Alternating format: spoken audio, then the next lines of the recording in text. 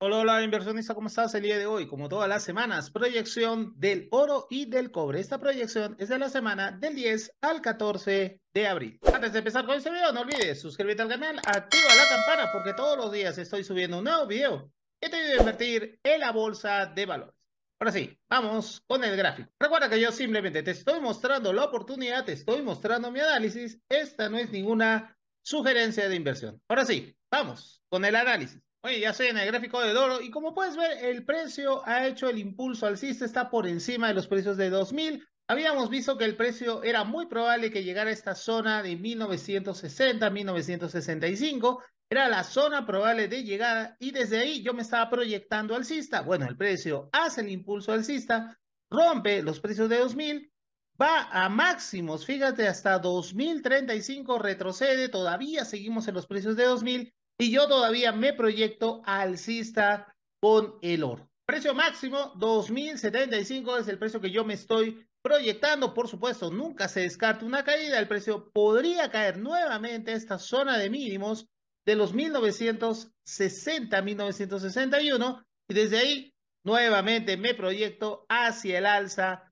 con el oro. Mi proyección es alcista sin descartar algún movimiento hacia la baja que podría ser esta zona de mínimos nuevamente 1961. Oye, vamos con el cobre. Si te está gustando estos videos, pues ya sabes, dale un me gusta.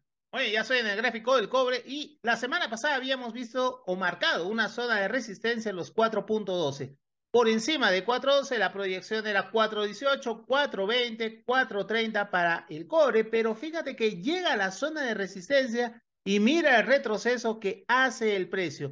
Yo me estaba proyectando los precios de 4, pero cae nuevamente a 3.95, como lo habíamos visto la sesión pasada, por debajo de 3.95 todavía, y desde ahí nuevamente impulsa. Estamos por encima de los precios de 4. Esto te demuestra que nunca se descarta una caída. Es muy importante ver la proyección, por supuesto, alcista que estamos analizando en ese instante, pero también nunca se descarta una probable caída en el precio. Y como puedes ver, el precio retrocede tres días seguidos y desde ahí, bueno, eh, jueves y viernes ya empieza a subir. Tiene buena proyección, así que todavía me proyecto a los 4.12 con el precio del cobre. Ten en cuenta, si es que estás invirtiendo en una empresa del sector minero, es muy importante también analizar la materia prima, junto también con fundamentales y, por supuesto, con el análisis técnico, que ya sabes que lo vas a aprender todo esto en el curso taller de Bolsa de Valores, más de 400 videos, vas a tener clases en vivo, asesoría personalizada,